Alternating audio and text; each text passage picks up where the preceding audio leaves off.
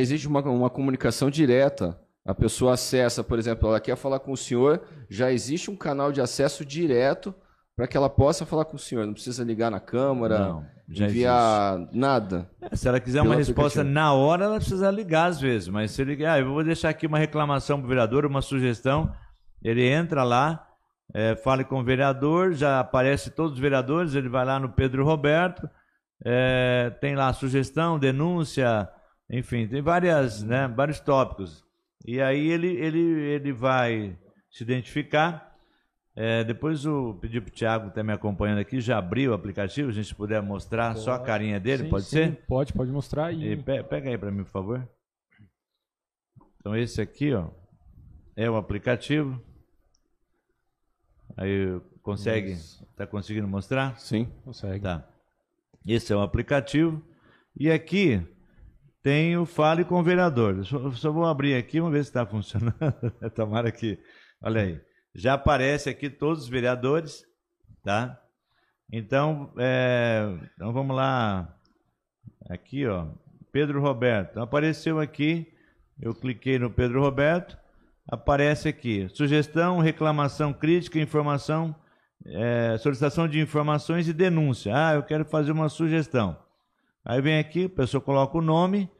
Lógico que a pessoa vai querer retorno. Então tem o nome, e-mail, telefone, tá? E depois, se ela quiser passar uma foto, ela passa uma foto. Se for uma situação que ele queira, é, é, né? Ó, tem um buraco aqui, tá? Ou tem algum problema, ele passa a foto, tá ok? E vai direto para o e-mail do vereador. Como agora o aplicativo foi lançado e a gente está pedindo para os vereadores acessar, né, através da sua assessoria, os e-mails para responder para a população. Além dessa questão, aqui no aplicativo, é, você tem aqui um. É, então eu falei da sessão, né? Só vou abrir aqui para mostrar. Aqui já tem a 27 sessão. Dia 26 de abril, que é semana que vem, às 14 horas. Eu quero saber.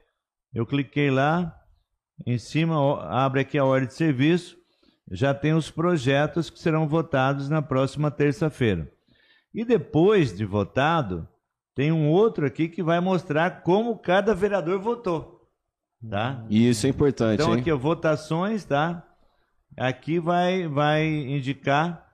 Aqui, ó. Aqui tem os projetos e como foi o voto. Aí você clica em cima, então esse projeto aqui teve 16 vereadores que votaram contra, é um veto. Aí você clica em cima e aqui vai aparecer os vereadores aqui, ó, que votaram a favor, quem votou a favor e quem votou contra. Não sei se está conseguindo captar um pouquinho aí. Eu Ok. acho que consegue, consegue. O... Bom, é, isso é e como importante. que chama esse aplicativo para as pessoas que querem baixar Então, ele? é processo digital, é legisla... processo legislativo digital. Para quem É, vai, é, entra na, no Play Store, né? Sim. Na, na onde baixa os aplicativos, processo legislativo digital, aí vai aparecer, é, vai aparecer várias, várias câmaras, tá? São quadrinhos com várias câmaras, só ali você quiser colocar em cima São José do Rio Preto, aí você clica em cima é, de São José do Rio Preto e já vai abrir o aplicativo.